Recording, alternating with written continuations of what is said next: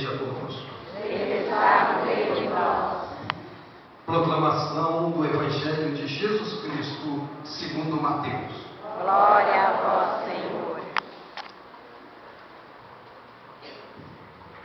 Naquele tempo, os onze discípulos foram para a Galiléia, ao monte que Jesus lhes tinha indicado.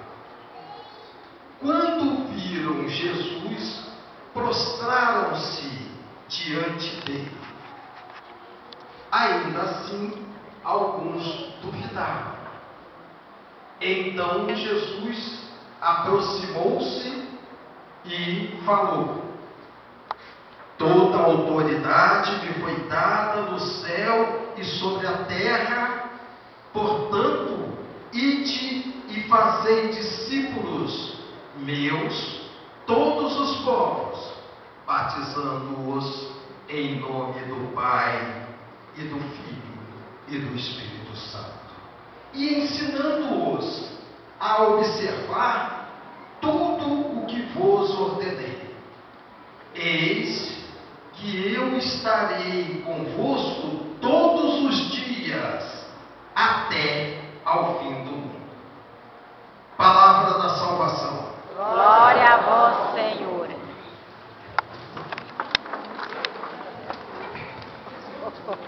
As fotógrafas. Nossa, da feia. Ai, ele não tá de chaleco, não. É fadiga de Irmãos e irmãs. Senta aí, amados, Magnólia. Vou botar aqui, ó. Hoje nós celebramos Deixa eu cá, porque senão não vai. uma festa especial, uma solenidade especial, que é a Ascensão do Senhor. Essa festa da Ascensão do Senhor, ela é realizada 40 dias após a ressurreição de Cristo. Como 40 dias? Foi numa quinta-feira. No Brasil, a CNBB estabelece que essa festa da Ascensão do Senhor deva ser celebrada no domingo imediatamente seguinte, para que todo o povo que frequenta a igreja no domingo possa comemorar solenemente esse momento especial da ascensão do Senhor Jesus. Em alguns países, exemplo, França, Alemanha, o dia da ascensão do Senhor é feriado. Então a quinta-feira da ascensão do Senhor é feriado. No Brasil, algumas cidades também proclamam um feriado. Uma delas é Novo Hamburgo também, lá no Rio Grande do Sul. É feriado municipal em razão da ascensão do Senhor. Muito bem. Ascensão do Senhor significa ascender com SC, ascender, ir pelo próprio esforço, pela própria vontade. Jesus, ele vai até os céus pelo seu próprio poder, o seu poder divino. Difere da assunção de Maria, quando a assunção, a palavra assunção significa aquela pessoa que é ajudada a subir. Então, é bom ter essa noção do que significa assunção e ascensão. Muito bem. Os nossos evangelhos de hoje, ou as leituras, nos dizem sobre esse momento especial da vida do cristão, que é o momento em que ele pode perceber que aquele Verbo divino que se fez carne, que habitou entre nós, chega a um determinado momento e vai aos céus e fica à direita do Pai. E ali, nesse momento, nós percebemos a grandiosidade, a grandiosidade desta festa, desta celebração. Porque Jesus sobe aos céus, mas à medida que ele sobe aos céus e fica à direita do Pai, ele não nos deixa sozinhos desamparados. Ele está conosco, está sempre conosco.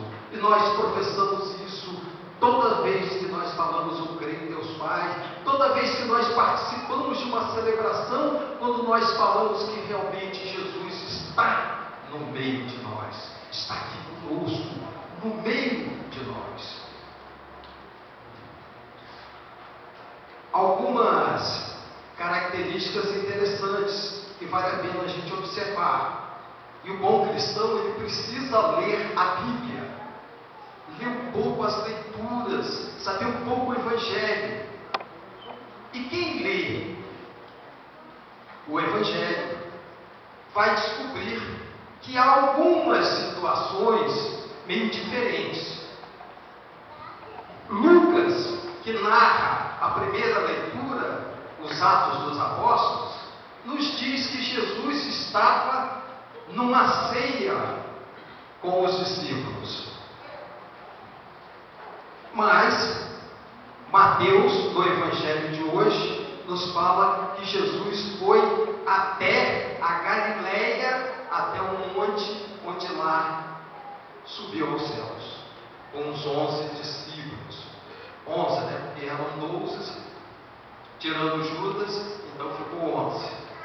Então, há essa questão. O outro evangelista, Marcos, já diz que o Senhor estava em Betânia, em Betânia no momento em que ele subiu aos céus. Estava em Betânia, pertinho ali de Jerusalém, pertinho de Nazaré, onde Jesus nasceu. Betânia, cidade de Lázaro, né?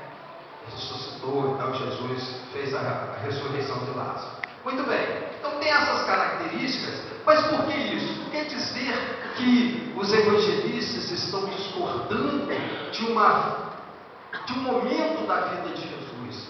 Se nós analisarmos todos os evangelhos, nós vamos perceber que existem algumas diferenças nas narrativas que se seguem de toda a vida de Jesus em alguns momentos. Mas isso significa que os evangelistas querem dar uma característica especial a determinados momentos da vida de Jesus. Quando Mateus coloca Jesus indo até um monte e de lá subindo, ele está querendo demonstrar a divindade de Jesus e relacionar Jesus como se fosse um novo Moisés. Como Moisés subiu lá no Monte Horebe, o Monte Sinai, também Mateus quer fazer essa característica, mostrar que Jesus é um novo Moisés, aquele ser divino que foi elevado ao céu. E Marcos, Lucas já querem mostrar o Jesus divino que ali comungou junto com os seus discípulos, ceiou com seus discípulos, se confraternizou com seus discípulos e depois foi até os céus. De qualquer forma, o fato presente e marcante é essa subida ao céu, onde o Senhor vai para junto do Pai, num momento especial onde lá ele está presente também aqui no meio de nós, participando conosco das nossas alegrias, das nossas tristezas, dos nossos momentos de felicidade, de alegria, daquelas angústias que nós temos pessoais.